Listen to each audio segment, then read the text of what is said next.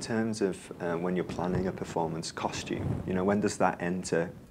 Well, this was this happened really, really quickly because I just was like, wow, okay, this you know this collaboration with with Vivienne Westwood and Andreas would just be you know specifically Andreas's collection would just be completely perfect for this because it feels like it's reimagining everything that I want to reimagine in the work, you know?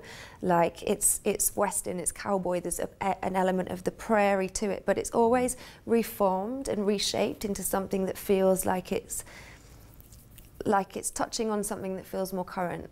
Um, so so it just felt like they felt like the perfect people to try and collaborate with. And I guess as, it, as a brand, I suppose it, it's, it was something that you're aware of anyway, the history of it, I, I guess. Absolutely, yeah. And, and I just feel like the whole, the whole um, ethos and spirit surrounding, surrounding these guys and, and their work here just felt, has, has, kind of, has kind of spoken to me for years throughout my life, really. So, yeah.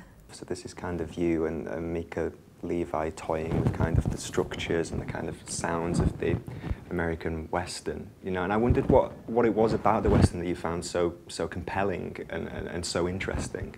Honestly, initially, I was just like, I want to make a Western. I had like a one night show, it was very quick.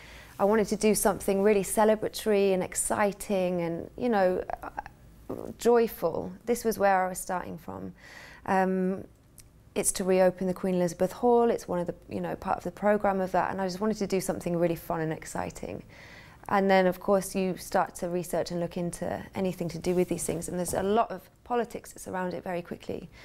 So I, you know, it was, it was, it was funny and naive of me. And, and I've kind of learned a lot in this short time that's been that's, that's just been an interesting process really so far. Well, what do you hope people take from it when, when they come and see the performance at the South Bank? What do you hope is the main thing that they, they get from it?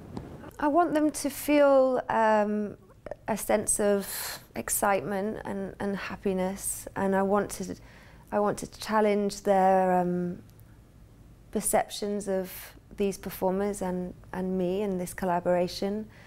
I, I want to um, try and create like a sort of sandy playground in order to explore things that are right in front of us but we don't always touch on. And I, I want to make a really fun show that's entertaining, that people like, that's fun. And what are some of the main looks that are going to be featured in the performance? I want to keep that a surprise. yeah. And when's it going to be finished the night before? Probably. Probably. Who knows? Maybe never.